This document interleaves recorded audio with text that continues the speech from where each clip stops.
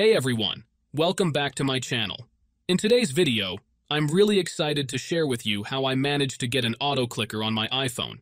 If you've been using iOS devices for a while, you probably know that auto clickers aren't typically available for them. However, I've discovered a method that works, and the best part is that you can do this on the newest iOS without having to jailbreak your device. So let's dive right in. On my iPhone, you can see that I have the Auto Clicker 2.0 app installed, along with the game Tap Titans, which I'll use to demonstrate how the auto clicker works. First, let's open up the auto clicker app. Here it is, and you can see the interface offers several settings, including single target and multi-target modes. You can also customize each mode to perform exactly how you want it to. Now, let's move over to Tap Titans.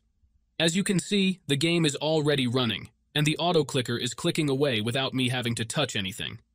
This is incredibly useful because it can save you a lot of time on various tasks, whether it's for games like Tap Titans or other repetitive tasks on your phone.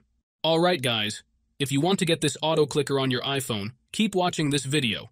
I'll show you the entire process step by step so you can have it up and running in no time. Let's get started. First, let's start by adjusting a couple of settings to optimize your device for this app. Head into your settings, tap on General, and make sure that Background App Refresh is turned on either for Wi-Fi or for both Wi-Fi and mobile data. This ensures the app can run smoothly in the background. Next, swing by your battery settings and switch off low power mode.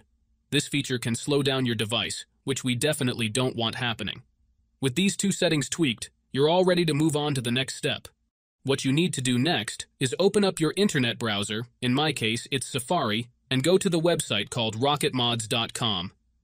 Rocket Mods is a website where you can find many apps and games with amazing features. Once you are on the website, search for AutoClicker and click on it.